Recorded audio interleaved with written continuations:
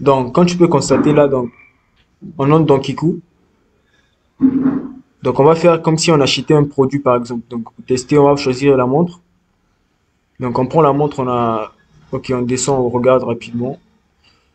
3500 par exemple. Donc, on va cliquer sur acheter. Donc, on a choisi le noir. On clique sur confirmer, commander. Euh, non. On clique donc sur commander. Là, là, il y a Orange et il y a, et il y a KPay. Donc, comme là, on commande. Donc, si tu vois paiement terminé, ça va tourner, ça va tourner. Parce que il n'y a plus possibilité de payer avec Orange. Donc, tu dois venir cliquer dans chat en ligne ici. Et tu vois un numéro de téléphone, tu cliques. Tu cliques, euh, tu choisis un numéro de téléphone que tu vas cliquer. Puis tu ouvres sur WhatsApp.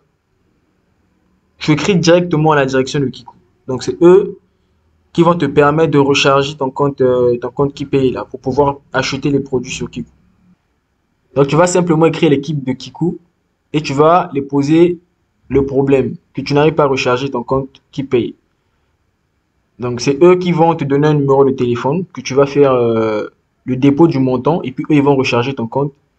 Après, tu pourras acheter, euh, après, tu pourras acheter facilement sur Kiku.